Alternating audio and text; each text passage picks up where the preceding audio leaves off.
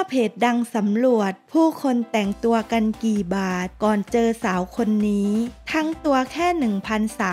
1,329 บาท กับเหตุผลที่ต้องกราบหัวใจ หลังจากที่กลายเป็นกระแสที่พูดถึงกันเป็นอย่างมากในโลกโซเชียล ในช่วงที่ผ่านมาเกี่ยวกับการแต่งตัวของวัยรุ่นปัจจุบัน ซึ่งจะเห็นได้ว่า แต่ละคนนั้นมีสไตล์การแต่งตัวที่เน้นของแบรนด์เนม รวมๆทั้งตัวก็เหยียบแสน โดยเฉพาะ ดอกไม้แฟชั่นที่มีราคาสูงถึง 1,500 ถึง 5,000 บาทเลยทีเดียว จนกลายเป็นดราม่า ถึงค่านิยมของเหล่าวัยรุ่นในวัยเรียน ที่เลือกแต่งตัวเกินความจำเป็น ถึงแม้ว่า แต่ละคนมีความชอบที่แตกต่างกันไป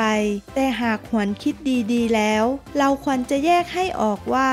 สิ่งใดคือความชอบ สิ่งใดเป็นเพียงค่านิยม ที่เหล่าผู้ผลิตสินค้าแบรนด์เนมต่างๆ ใช้เป็นเครื่องมือให้เหล่าฟุ่มเฟือย โดยเปล่าประโยชน์ เพียงเพื่อจะแข่งขันกับคนอื่นให้ดูหรูและดูดี เช่นเดียวกับเรื่องราวที่เราจะพูดถึงในวันนี้ โดยสอบถามการแต่งตัวของผู้คนว่า ในแต่ละวันนั้น พวกเขาแต่งตัวออกจากบ้าน รวมหัวจดเท้าเป็นเงินกี่บาท ซึ่งแน่นอนว่าเราจะเห็นว่าหลายๆ คน นิยมใช้สินค้าแบรนด์เนม ซึ่งมีราคาสูงลิบลิ่ว เช่น รองเท้าคู่ละ 4-5,000 นาฬิกาเรือนละหมื่นถึง20,000 แต่ต้องมาจบลงที่น้องคนหนึ่ง ซึ่งแต่งตัวดูดีไม่ต่างจากคนอื่น แต่พอสอบถามราคาเสื้อผ้าเครื่องแต่งกายทั้งตัว รวมกันแล้วแค่ 1,329 บาทเท่านั้นเอง โดยทางทีมงานได้ถามน้องคนนี้ว่า สาเหตุที่ใช้ของถูก เพราะไม่ชอบช้อปปิ้งหรอ แต่คำตอบที่ได้มากับทำเอาจุกจนพูดไม่ออก นับว่าเป็นคำตอบที่ใครได้ยินแล้ว ต้องอึ้งไป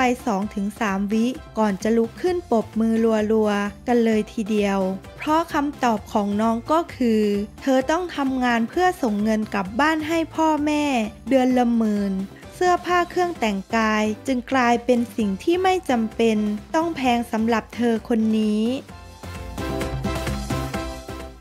ขอขอบคุณข้อมูลจากสยามนิว .com อย่าลืมกดติดตามพร้อมทั้งกดรูปกระดิ่ง เพื่อแจ้งเตือนทุกครั้งที่มีคลิปใหม่ๆ จะได้ไม่พลาดคลิปของเรื่องเล่าข่าวค้นนะคะ รักทุกคนค่ะ